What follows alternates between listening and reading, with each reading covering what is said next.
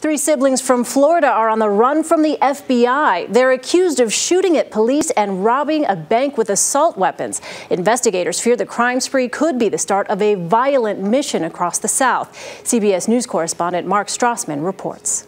Investigators describe a one family crime wave, three suspects who are armed, dangerous, and siblings. I would consider these three individuals as extremely armed and extremely dangerous.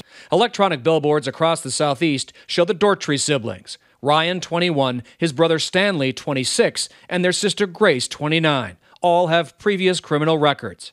Investigators say the crime wave began in Florida on Monday when Ryan Dougherty violated his parole, snapped off his ankle bracelet, and stole his girlfriend's car. The next morning, police say the trio fired over 20 rounds at a Florida police officer during a high speed chase.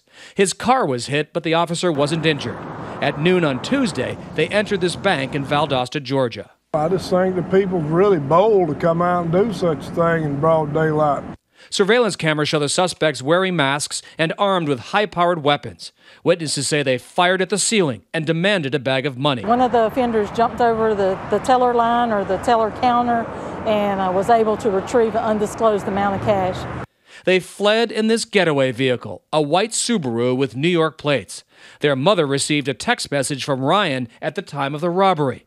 At some point, we all have to die. Police are worried the sibling suspects are carrying an arsenal of weapons and won't go peacefully. Meanwhile, the FBI is conducting tests on gun parts found at Tampa International Airport in a bathroom. Mark Strassmann, CBS News, Atlanta.